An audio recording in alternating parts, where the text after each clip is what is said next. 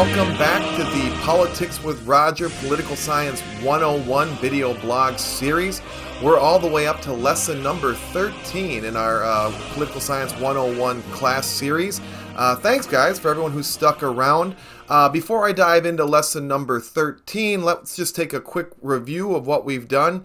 And uh, I, I, just want to remind everybody what the goal is here. The goal is here is for everybody to get the highest understanding, the best understanding of politics in the shortest amount of time possible, even if you're a beginner, even if you kn- knew nothing about politics, nothing about political science if you start from the introduction and, and work your way through these classes, I think you'll get a very good idea of what's going on in politics and political science uh, in a very short amount of time, all things considered. Uh, lessons number one through five created kind of a foundation for us. Uh, we started with lesson number one power, influence, and authority. Uh, lessons two and three were about politics from the right and politics from the left. Uh, lesson four was about communication, and lesson five was about information, or it might be the other way around. But anyway, three uh, lessons four and five were about information and communication. Uh, lessons 6 through 12, what we've just completed, uh, started with philosophers and philosophies of the 1776 Revolution and Constitution of the United States, what I would consider politics from the right. Uh, and then we've just been covering um, some very important amendments, rights that we have protected in our Bill of Rights. Uh, we, uh, uh, the First Amendment, Second Amendment, Fourth Amendment, and Tenth Amendment.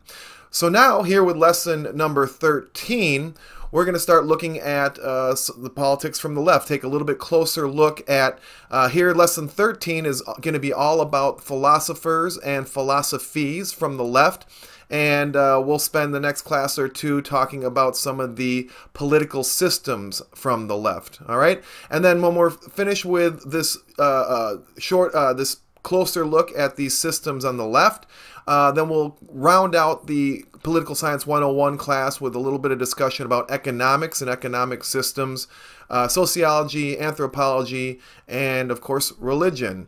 And then we can move on to the 200 series class and get into a more in-depth detail on a lot of the things that we're talking about. But anyway, thanks for sticking around, guys, and uh, you know I've really enjoyed putting these classes together because uh, I've been reminded about a lot of things that I've forgotten, and it's making me see things more clearly uh, in the world that are going on and how they apply, and you know I th- they, it helps me out too. So, anyways, I thank everybody for that.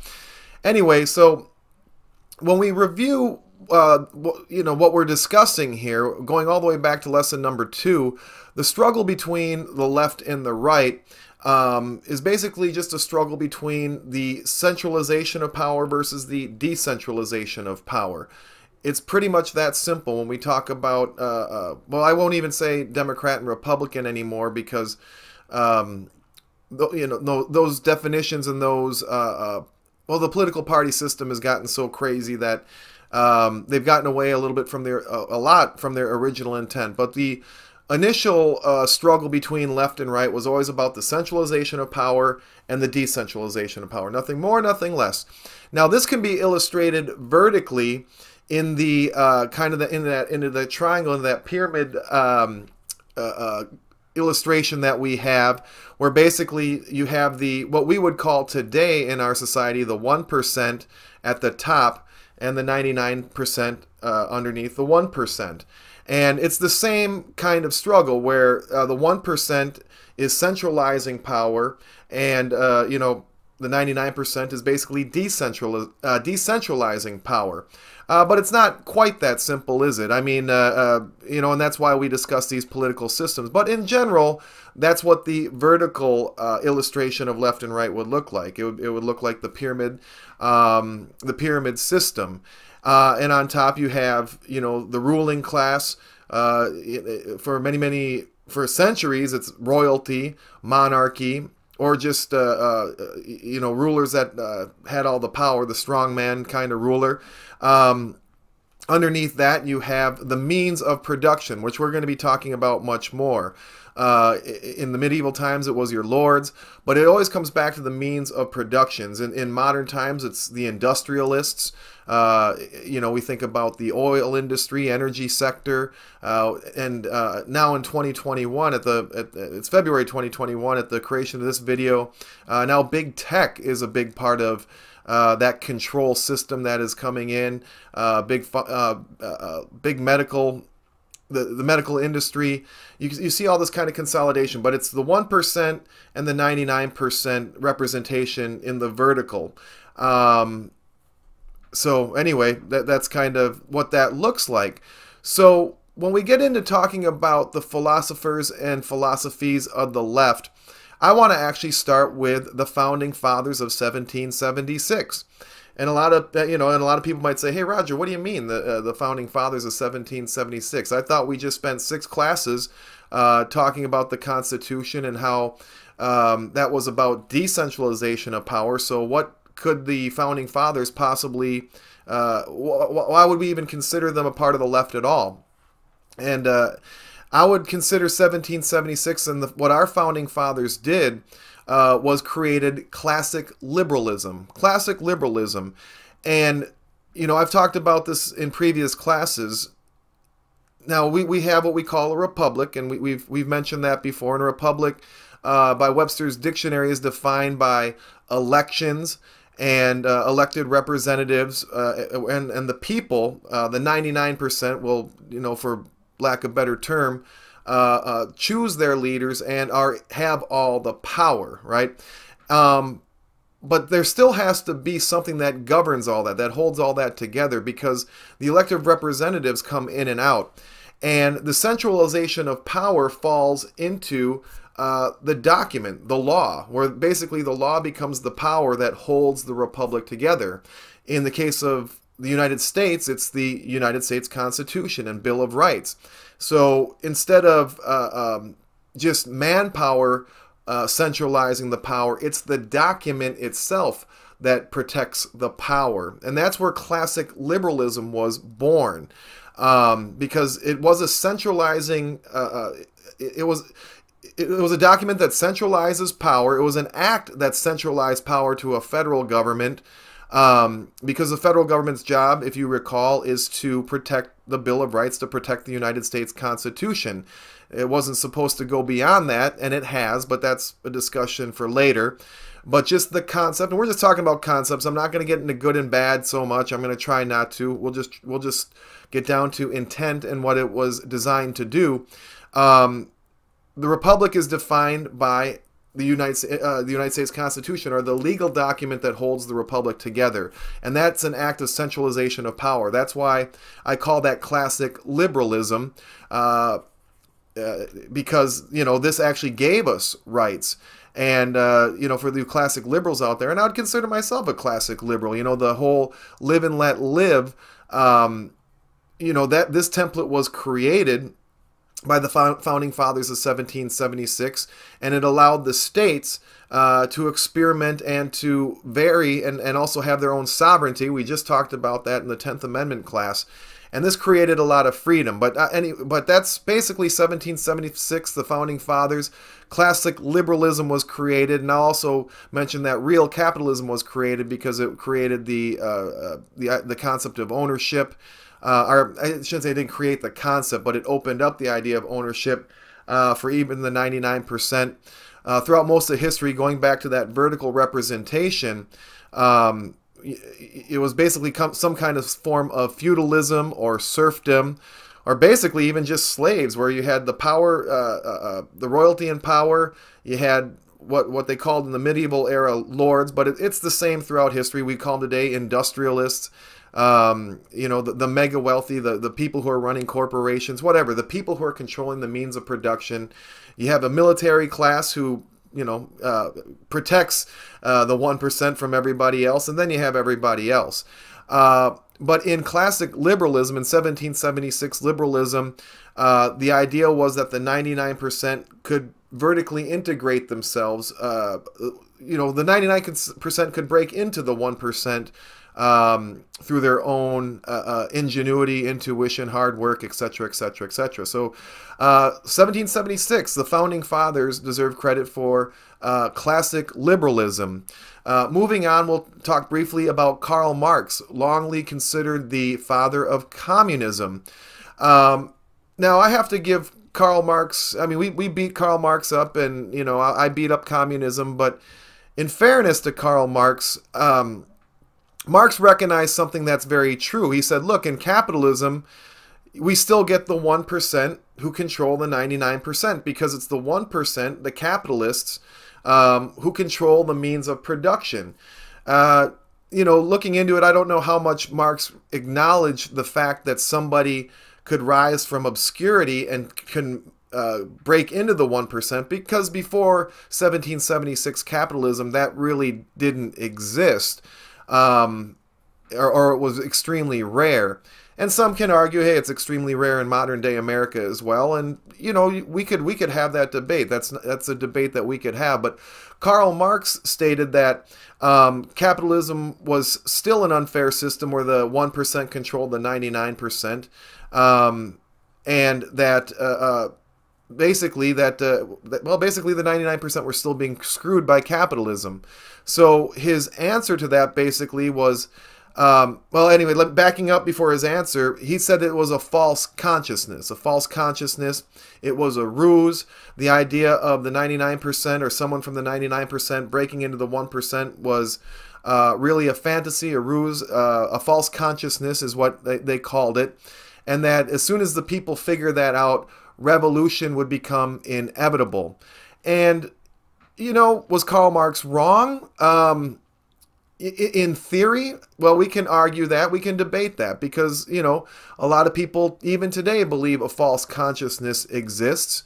And as more and more of our Constitution in America gets chipped away, you do see it is harder and harder for someone from the 99% to rise into the 1%. Um, you know, the freer the nation, I think, you know, the easier it is for someone from the 99% to break into the 1%. But you still see this struggle between the consolidation of power, uh, the 1% controlling the means of production, and those of us in the 99% trying to break into or trying to rise through that system into the 1%.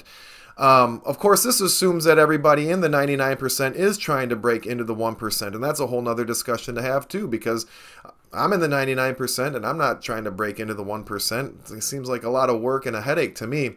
But but you get the point. Um, as a political system, this created classes, the elites and everyone else. Karl Marx called them uh, the bourgeoisie, uh, uh, uh the, the bourgeoisie, the 1%, and the proletariat.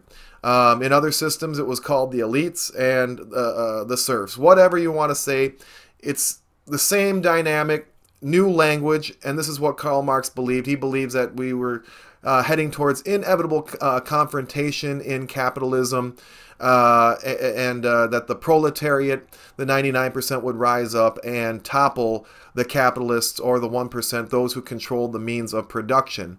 And we'll talk about some of the results of those in later classes. So, moving on, uh, you know, I chose Saul Alinsky as a more modern day uh, uh, uh, philosopher from the left. He was a very important philosopher. He wrote the book Rules for Radicals. We covered this uh, in in uh, a lesson number three, and we'll get into it even more in later lessons because we're just giving overviews. But again, just to review the Saul Alinsky dynamic in politics from the left, uh, basically Saul Alinsky wanted to accelerate that revolution. So he believed Karl Marx or anybody from the left um, who who subscribes to that ideology believes, yeah, the capitalists are screwing the uh, the bourgeoisie, they're screwing the the the, the proletariat, the 99%, and there needs to be a revolution uh, of the 99% to control the means of production. So what did Saul Alinsky do that was new? Well, he accelerated that. Um, he called for revolution and he created a book that rules for radicals uh, that that um, instructed the proletariat in tactics that would accelerate the revolution. You know, not, really nothing more, nothing less. But um, this was a very aggressive posture for the proletariat to take. Um, basically, I guess Alinsky is a, a, a testimony of uh, uh, someone who truly believes that the false consciousness is a false consciousness. Um, you see, I guess that's the difference between someone like me and someone like Alinsky. It's, it all comes down to that false consciousness um, concept because I still believe as a, a, a capitalist American um, that the 99% can break into the 1% where someone like Alinsky says, "No, that that's that's false. That's a ruse. It's time for the proletariat to rise up and to take the means of production away uh, from those who have it now." So very important. And then finally, we reach a whole different side of the left, and that's globalism. And you know, this is defined by thinkers like Henry uh, Henry Kissinger, uh, Zbigniew Brzezinski. Um, you know, it started with the League of Nations and the UN. Um, you know, and then Kissinger basically uh, uh, the idea Kissinger pushed uh, realpolitik, which was basically uh, uh, a philosophy that said, hey, we need to think in a more pragmatic order. Um, those who have the means of production are responsible for the distribution of goods and services to those who cannot have it. So, realpolitik throws out ideology, political ideology, and it throws out morality, uh, or, or I shouldn't say it throws out morality, but it throws out systems of morality. And it basically says, I mean, to me, it was another way of saying, well, if you got the power, then then you have the right to rule. Uh, we can debate that. I'm sure Kissinger would dress it up in a little bit different way, but uh, this is basically what the globalist movement has been about. Those who have the power deserve to exercise the power. The reason they deserve to exercise the power is because they have it. I see circular logic in that, but that you know, it, it there there is a debate to have about that. I mean, it's um, you know, there is a lot of third world countries or countries that are in poverty, countries that are broken. And it does beg the question what responsibility do those with all the means of production have to distributing that wealth and power to those nations that don't have it? Now, you know, some of those nations might say, we don't want, you know, what you have. Um, they might say that's a very materialistic way to view the world. But what Kissinger and a lot of the globalists were saying, and and, and I'll throw Zbigniew, uh, uh, Zbigniew Brzezinski in in with Kissinger as well. Um, they were saying, well, we have the the power and the means of production, and it's our responsibility uh, to take care of those who don't all around the world. This is where we see that one world government coming into play. Uh, Brzezinski was big with the Trilateral Commission with David Rockefeller. Um, so even though these players maybe didn't, uh, they, they worked in a loose network, uh, almost a cabal, um, which might not be the most fair word, or maybe it's the, exact perfect word. But um, anyway, you see where leftism is going, and this is all about centralization of power because, particularly uh, since the 60s, it's been the United States, China, and Russia, uh, and then later the, the EU, uh, defined by the UN, and, and certain Middle East powers who have all begun consolidating power into one uh, global network. Um, and that's globalism that we see today. So, just to review, the philosophers and the philosophies of the left, starting with the, the 1776, the founding fathers of the United States, uh, the United States Constitution, the Republic, and classic liberalism. Uh, moving on to Karl Marx and uh, the father of communism, Saul Alinsky, who accelerated uh, uh, communism and the great uh, conflict between the bourgeoisie and the proletariat, the 1% and the 99%, and then bringing us where we are today with globalism, one world government, and thinkers that believe in centralization of power for the sake of uh, uh, for uh, the centralization of power to those that have it because they can. So anyway, I find that uh, it's an interesting progression. I hope uh, I hope you guys, uh, if you have any comments or want to debate it or talk about it, feel free to drop a comment anytime. And uh, those are the philosophers and philosophies from the left. I know I could have included a lot more, but this video is already hitting on 20 minutes, and you know I try to keep it shorter than that. Um, we will definitely be diving more into each of these situations, uh, into each of these ideas and concepts in uh, the lessons coming up. And uh, yeah, philosophers and philosophies from the left, uh, lesson number 13. Thanks for tuning in, guys. We'll see you for lesson number 14, where we're going to discuss again some of these different systems the classic liberalism, uh, legalism, communism, socialism, fascism, and what they mean. Thank you very much. Talk to you guys later.